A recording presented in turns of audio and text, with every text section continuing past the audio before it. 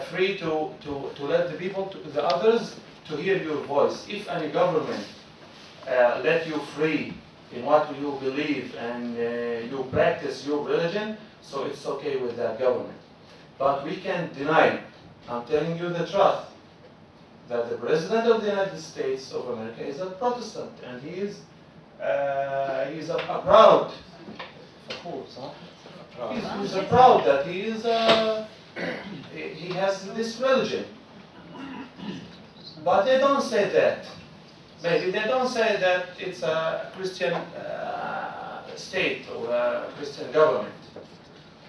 So because of that, also when the Bibi said we wanted the, uh, the PLO or the Palestinian uh, leadership uh, to, uh, to confess that uh, the Israeli government is a Jewish state. The, the Palestinian leaders, of course, refused. And also a lot of rabbis say, why you want the people to confess that? You are the uh, prime minister and all of the leadership is, is Jewish, so no need to let the people uh, agree or sign that it's a, a Jewish uh, state. But it's uh, in the, in fact, on the ground, it's a Jewish state. Okay, can we, can we, thank you, that was a, for, for us, I think it was a remar- remarkable insight into how the situation is read through the eyes of different faith groups and groups. But, uh, let's have some more questions. Yeah, this lady?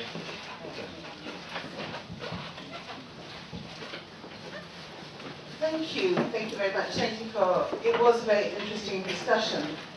My question sort of links into it, but it takes it off in a slightly different direction. I was uncomfortable about the Ger Hatoshav language that Rebecca used, not primarily for the reason that you gave, Salim, which was everybody should be equal, but because, and I have to confess I've been guilty of it myself at times, that when you start talking about Palestinians as Ger, and you use that language of, of Palestinians, then implicitly you are saying that they are immigrants, sojourners, migrants, whatever you choose to translate the word Ger with, but you're actually not acknowledging their own claim to existence and, and, and rights in the land on the same basis as that of the Jewish community. And, and so I think this is an actually particular question to Rebecca. It, it might almost be that I'd be interested to hear Sharon and, and Salim as well on, on, on that one. But that I was quite uncomfortable about the Yeah, I, I said that already in the beginning before saying that. That I am not here at the shop, that's mean I'm the indigenous per- person of the land. That's what I meant, sure. Sharon, anything you'd like to say, and then we'll, we'll go across the Rebecca. Yes, I- I- again, this is a question of whether we can take halakha, Jewish law, in order to really interpret what is happening in the modern day and age.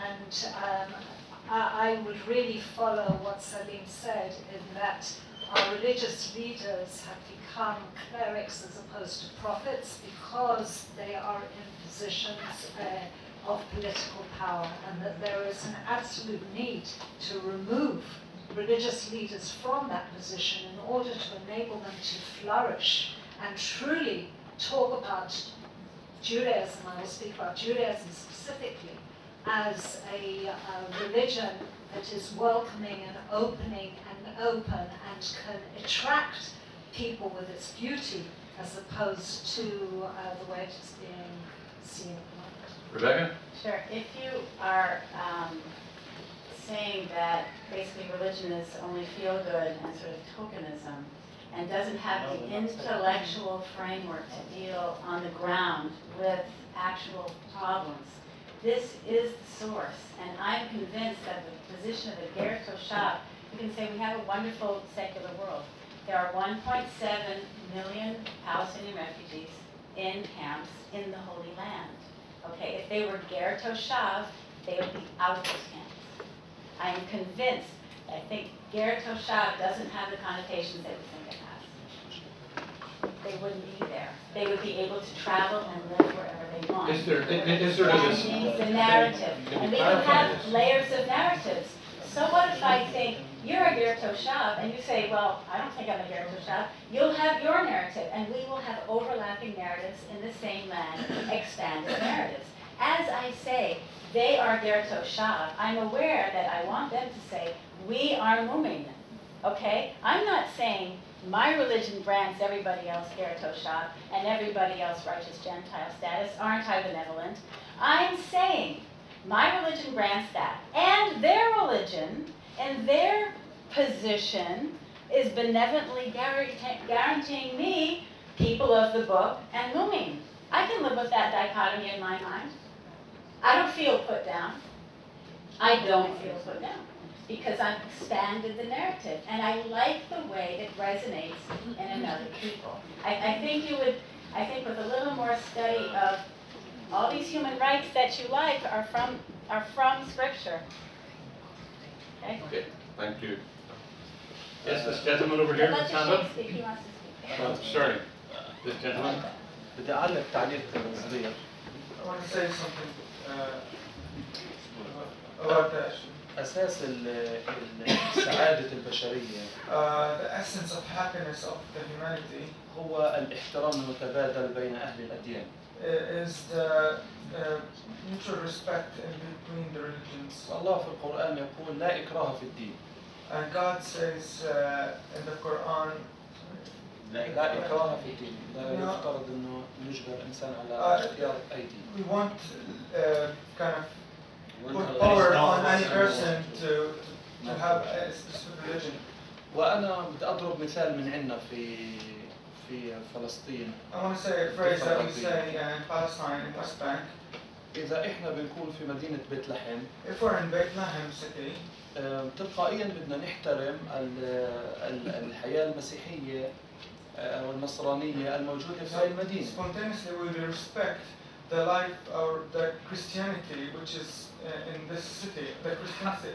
حتى city. الساده المشايخ العلماء الكبار Even the sheikhs, uh, the most respect, uh, respected sheikhs, دائما يوصوا انه في مجتمع آه، اصحاب دين مثلا آه، مسيحي لا نقوم باي ذكر اي انتقادات قد آه، يعني حتى يعني حتى قد يعني انتقادات ولو بسيطه قد تزعجهم So even in the, uh, even the highest respectful sheikhs say when we're in different, uh, like under a different uh, religion in a certain city, as for example in Bethlehem, we won't say, uh, we want, yeah, for in a city, we won't say anything that criticizes that religion that we live among. عندنا مثال كمان آه، بحب اقوله Another example that I want to say, انه رئيس البلديه عندنا في مدن مثل بيت لحم ورام الله yeah, the mayor in Ramallah and في Bethlehem, القانون الفلسطيني in the law uh, in Palestine, يجب ان يكون مسيحي has to be uh, ولو أن الدولة أغلب سكانها من المسلمين والرئيس محمود عباس مسلم and the, مسلم ولكن في القانون حتى اليوم يجب أن يكون الرئيس البلدية مسيحي. the mayor of these cities has to be Christian. ولا يستطيع أي مسلم أو آه، سامري يهودي مثلا أن يترشح لهذا المنصب. No Muslim or آه، آه، Jew can be even a candidate for this, uh, this. ونحن نقبل بذلك. يعني ونحتج على هذا الشيء. فلذلك يجب أن نركز على وطبعا بسبب أنه في مسيحيين وفي في هذه المدينتين. ولذلك يجب ان نركز على احترام كل منا الآخر So we have to concentrate and focus on respecting each other. و... وهذا هو ما يوجد ال... ال... ال- الحياة ال- المشتركه اللي تكون مبنيه على السعاده في بين كل البشر and this is the essence of basically of, the, of happiness in between the people. Thank you. Thank you.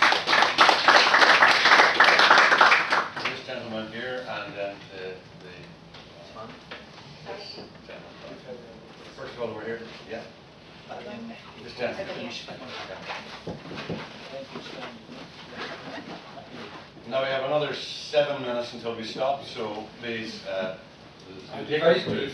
Um, I mean, I've been very impressed by the attempts to find, difficult than they obviously are, find common ground. And I recall Sharon talking about neutral ground. Um, and one of the examples you gave, Sharon, if I heard you correctly, was influence that your organisation has had in um, uh, working with personnel from police and pre-military service. And that struck me, uh, picking up your uh, prompt to be deal with practical issues. I would be interested to know to what extent, given the political power that must rest over police forces and military in Israel, to what extent that sort of reconciliatory work or getting, getting uh, policemen and soldiers to be, to understand what they're dealing with and the rights, human rights that are involved in their work. Um, this I thought was a very interesting practical example. I just wonder, is something, is there an example here that you could expand on for us, please? Sharon, would you like to deal with this, and then we take another question immediately afterwards? Thanks very for the question.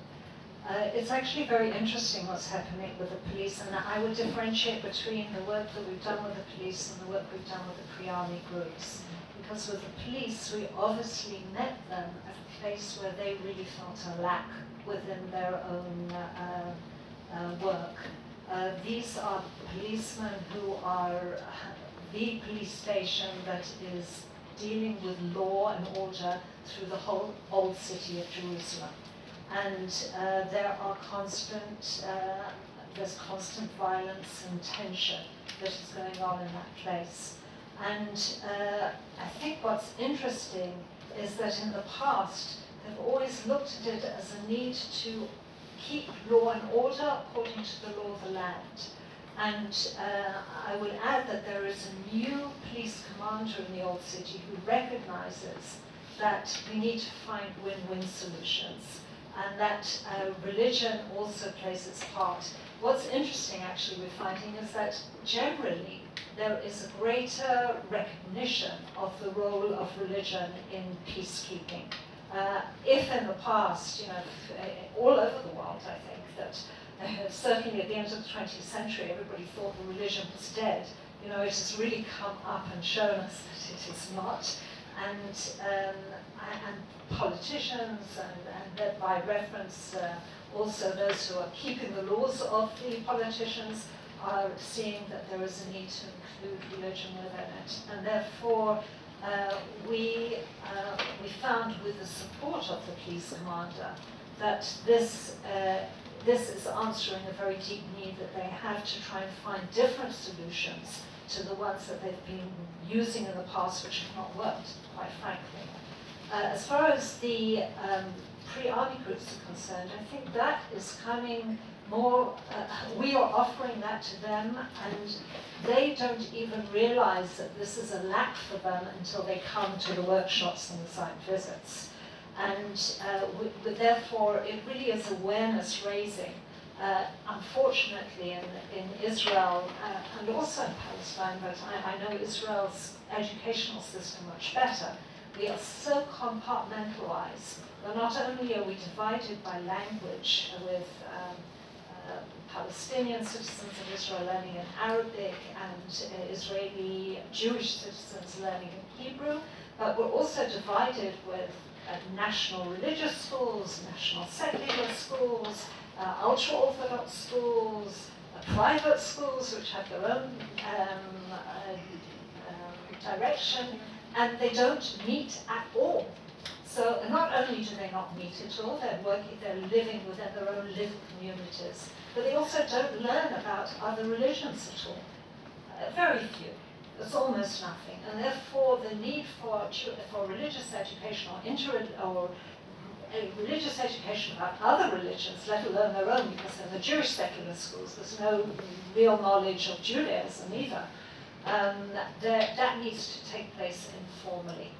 And uh, we're finding that we really have a niche in doing this there. And just one small example. What we do is with these young people who we're only working with the Jewish pre-army youth at the moment, we bring all sorts of artifacts for them to hold and touch, and we ask them to choose something, uh, uh, artifacts about the different religions. So it could be a rosary, or it could be a Quran, it could be a um, uh, hijab that they would put on, all different things to do with the religion, and we ask them why they have chosen they uh, chosen the artifact or the article that they have taken, or uh, whether it, what has attracted to them, or whether it has repelled them, uh, what has repelled them. And, and one story, I mean, I remember so clearly this uh, Jewish boy picking up the Quran, and he said, I live in the Middle East. I was born and brought up here. I have never held a Quran. I don't know what is inside it. And if I'm going to be living in Israel, I really need to know about what's in there because it affects my life so much. Or another story about a girl who picked up a rosary. And uh, she said, I picked this up because my grandmother is a Catholic, a believing Catholic living in Poland. And I remember with great love my time with my grandmother. And although I have come to live in Israel and I have now converted to Judaism, I, this, I feel very close to this rosary. And we, we saw immediately from the surprise of all the other people around them that they had no idea that this had been her background at all. And we were proud that she felt comfortable enough to actually say that within the group.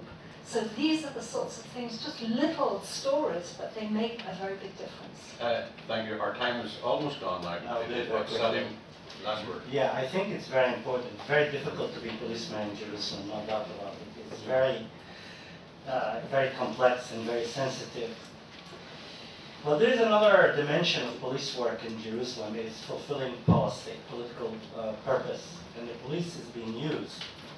Uh, for example, in Silwan, to move Palestinians from their home and turn Silwan into Jewish neighborhood, a tourist neighborhood, and that is something that's happening.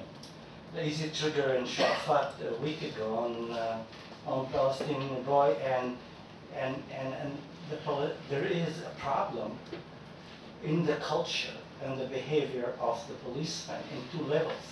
One on the personal level, that's so much hatred in our culture and fear and all of that. But the other aspect of it, that the police in Jerusalem fulfilling a policy to prevent uh, division pre- and, and moving into East Jerusalem Palestinian neighborhood. Uh, and, and here, how you deal with that, how you deal with the fact that the police is not only policing, is not protecting people, policing is part of the policy of the government to change the reality on the ground. And, and that is also we need to address. Okay, thank you, Salim. Would you like to uh, give a round of applause to our three people?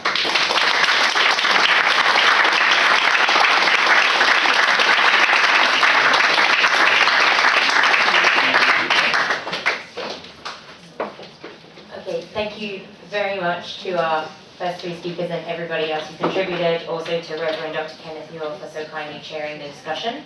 We will have a very, very quick coffee break. Upstairs, uh, we have coffee provided and tea. Um, if we could all be back in here at 4.15 sharp, so 15 minutes exactly, we will then have Rabbi Hanan Schlesinger, uh, Khaled, Khaled Abu Awad, Sheikh Abu Khalid Tamimi, and uh, Yehuda Stolov. Um, all four of these very eminent speakers um, will then be uh, presenting their work, taking your questions. So tight timeline. Enjoy your coffee. Thank you.